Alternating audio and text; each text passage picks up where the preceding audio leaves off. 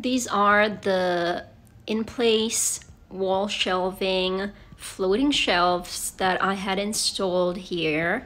I got three of them here and I wanted to show you my favorite and least favorite thing about them here in this uh, quick video. So for the favorite thing, I just um, love the way that it looks and adds um, just one single shelf to my wall without any hardware um, sticking out.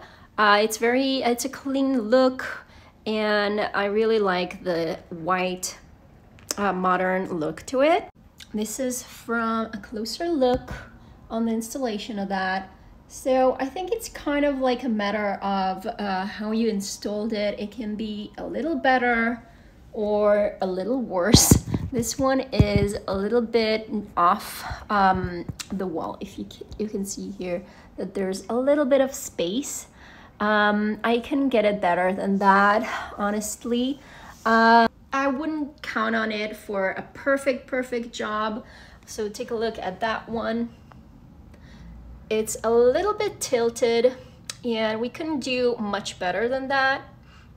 Um, so it's not like the best high-end shelving, um, but for what it is, it's a great option if you're considering just a simple, modern, and uh, affordable solution, uh, kind of like an alternative to an IKEA floating shelf, um, but these are much thinner, uh, so it gets kind of like a different um, effect to the wall.